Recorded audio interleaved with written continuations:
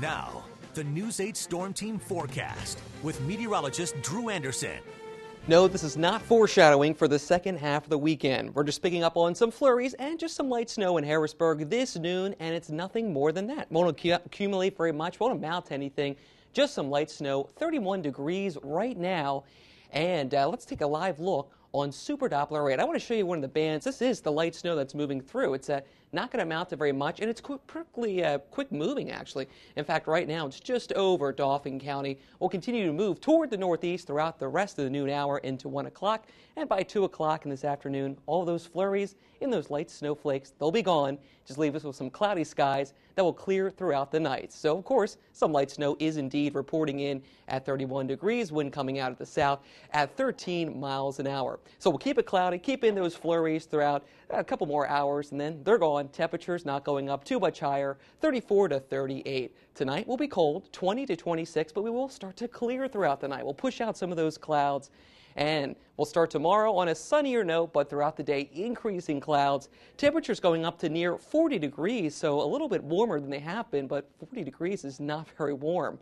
And over the last few hours, we'll take a live look, and I want to show you across the Mid Atlantic and the Midwest. This system, this Clipper system, moving very fast. In fact, we uh, put this back about 12 hours. You can see how quickly it moved from the Midwest into Pennsylvania and is scooting on its way out toward the Northeast.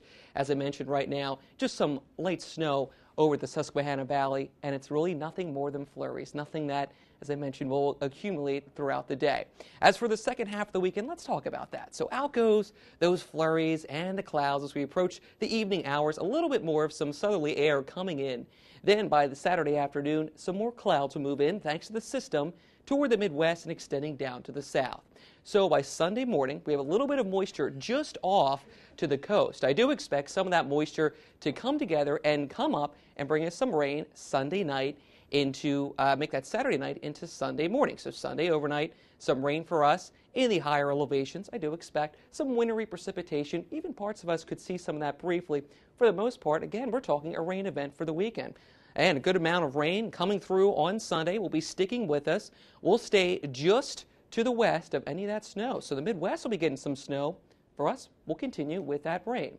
So then Sunday afternoon into Sunday evening, we'll continue with the rain. Then it'll push out.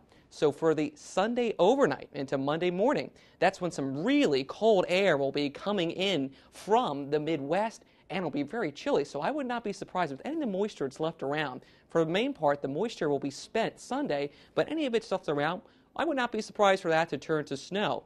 And in fact, you will see on the predictor when I uh, let you know that. In fact, instead of running that, I just want you to know that uh, the majority of it's just rain. And you wouldn't have seen that in the Midwest because they'll be getting snow. So that'll taper off into the morning commute on Monday. From there, Susan, cloudier skies, but we're turning windy again, and we're going back to last week. It will be cold, windy, and some flurries in the forecast. But as for this weekend, primarily a rain event. Oh, all right. We'll fine tune it throughout the weekend. All right. But it's cold out there today. It is. All right. Thanks, Drew.